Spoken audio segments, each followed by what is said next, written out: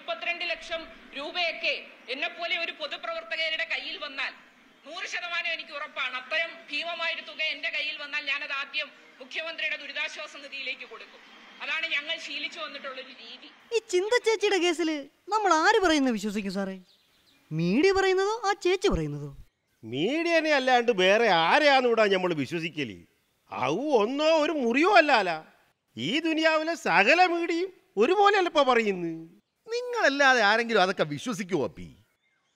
രണ്ടായിരത്തി പതിനാറിൽ അമ്പതിനായിരം രൂപ ശമ്പളത്തിന് കയറിയ ഒരാളിന് രണ്ടായിരത്തി പതിനെട്ടിലെ അത് ഒരു ലക്ഷം ആക്കി കൊടുത്തില്ലേ?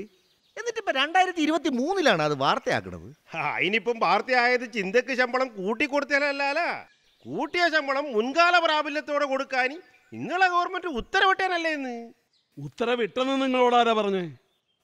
മുൻകാല പ്രാബല്യത്തോടെ ഈ ശമ്പള കുടിശ്ശിക കൊടുക്കാൻ ധനവകുപ്പ് തീരുമാനിച്ചു എന്നല്ലാതെ അതിന്റെ പേരിൽ ഉത്തരവൊന്നും ഇവിടെ ആരും ഇട്ടിട്ടില്ല മിസ്റ്റർ. ഇനി അങ്ങനെ കൊടുക്കാൻ തീരുമാനിച്ചാൽ തന്നെ ഈ മീഡിയ പറയുന്ന മുപ്പത്തിരണ്ട് ലക്ഷം എന്ത് കണക്കാ സാറേ? എങ്ങനെ കൂട്ടിയാലും അത്രയും പൈസ വരില്ലെന്നല്ലേ ചിന്ത ചേച്ചി പറയുന്നേ. അവരാ പറയുന്നത് ശരിയാടാ മോനെ. അൻപതിനായിരം രൂപ വെച്ച് പതിനേഴ് മാസത്തേക്ക് എട്ടര ലക്ഷം രൂപ കൊടുക്കാനാണ് ധനവകുപ്പ് തീരുമാനിച്ചത്. ധനവകുപ്പ് അങ്ങനെ തീരുമാനിച്ചെന്നൊക്കെ ഈ മാപ്രകൾ പറയണതല്ലേ പി? ഞാൻ അങ്ങനെ ഒരു ആവശ്യമേ പറഞ്ഞിട്ടില്ലെന്നല്ലേ ചിന്ത പറയണത്? അതൊക്കെ അവർ വെറുതെ പറയുന്നതാ. ചിന്തയുടെ ഈ ആവശ്യമാണ് യുവജനക്ഷേമ വകുപ്പും ധനവകുപ്പും അംഗീകരിച്ചു എന്നുള്ളതാണ് വസ്തുത. ഇതൊരു വിവാദമായിരുന്നില്ലെങ്കിൽ അതൊരു ഉത്തരവായി ഇപ്പൊ ഇറങ്ങുകയും ചെയ്തേനെ.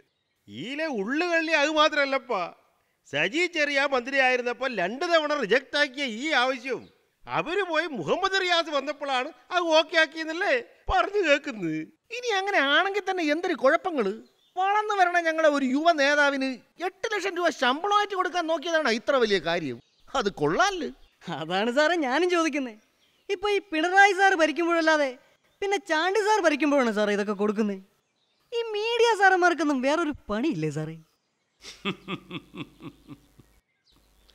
ആർക്കാനും കൊടുക്കുമ്പോൾ അരുതെന്ന് വിലക്കരുത്.